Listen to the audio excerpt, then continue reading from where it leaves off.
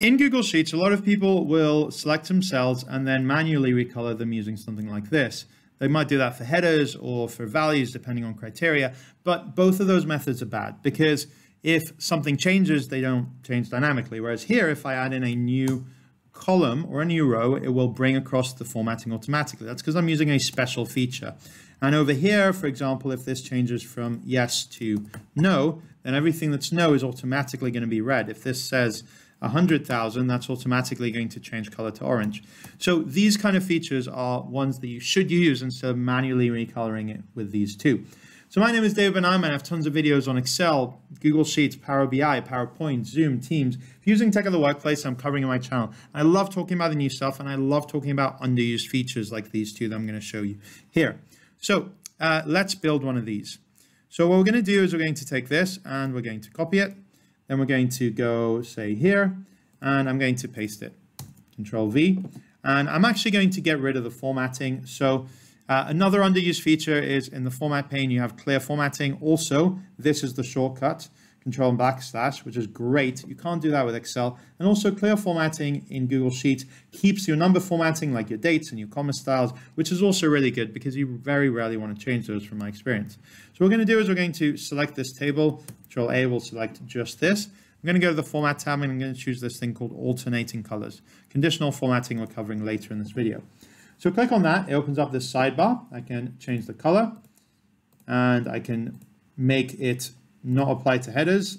Usually I would apply to headers and I can use footers. We'll see that in a second. Or I can change the style as well. So let's say I want this to be absolutely anything that I want like that. It's a little bit ugly, but this might be what you want. And these are some custom styles that you can use and have there. So I'm going to choose, say, this one. Uh, by the way, if you don't want this alternating of dark light, dark light, you can just change color two to be white and then they're both white if all you want is the footers and the headers, for example. But I'm going to keep it like that. I'm quite satisfied there. And then I press done. And then if I add in a new column, on the right hand side it grows. If I add in a new number here and keep going, then that will also grow with alternating colors. And for example, if I want to edit it, then, or let's say we want to add in a total. So I'm going to say, you know, here, total. Then I'm going to go to format and alternating colors again. And I'm going to tick on footer. And this is a differently colored footer. But again, I can change this to absolutely anything that I want. And then here it might make sense if I have, for example, a sum, it should pick it up automatically like that. Google Sheets is pretty smart like that. And then you get this appearing that way.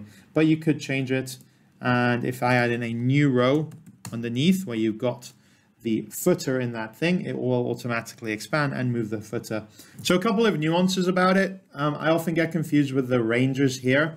So sometimes I'm thinking, okay, cool, done. And then I want to create this one. So I go to format and then alternating colors. It will create it in that one but then I, I'm, I'm kind of clicking somewhere and I expect it to do changes to the one I'm clicking on, but it doesn't, it still does changes to the original one. So keep an eye on this. It does get confusing like that sometimes. If you want to remove it, you need to do this.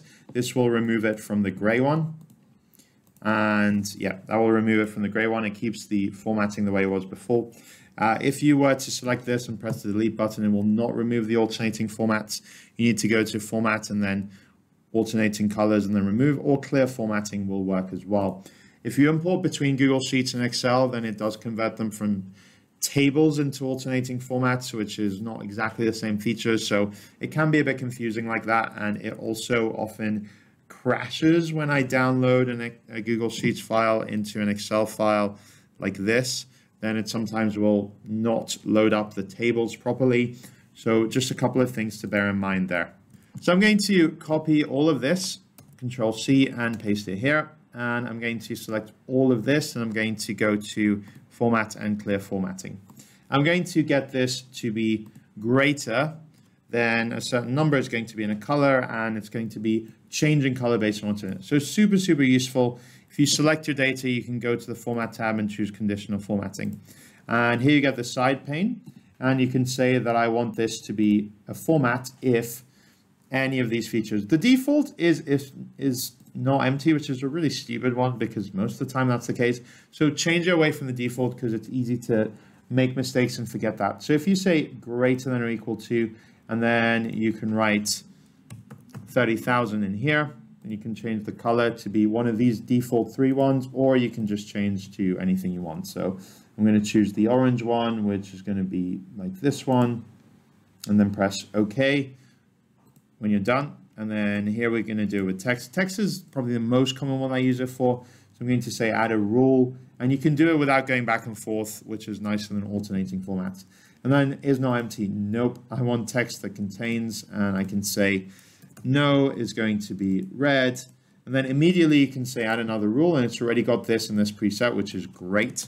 So I can do partial, and this is going to be yellow, add another rule, and then yes is going to be green. So super quick to do that, much quicker than with Excel if you want to add multiple rules to the same cells. When you've got dates, so I'm going to do add another rule, and you can just manipulate it from here as well. And I'm going to say date is after, and after 2022, I'm going to say exact date, and first or 31st of December 2021. Anything after that is going to be in blue, so I'm going to just choose a blue color. Might not be exactly the same as the one I have above, but that's going to be there.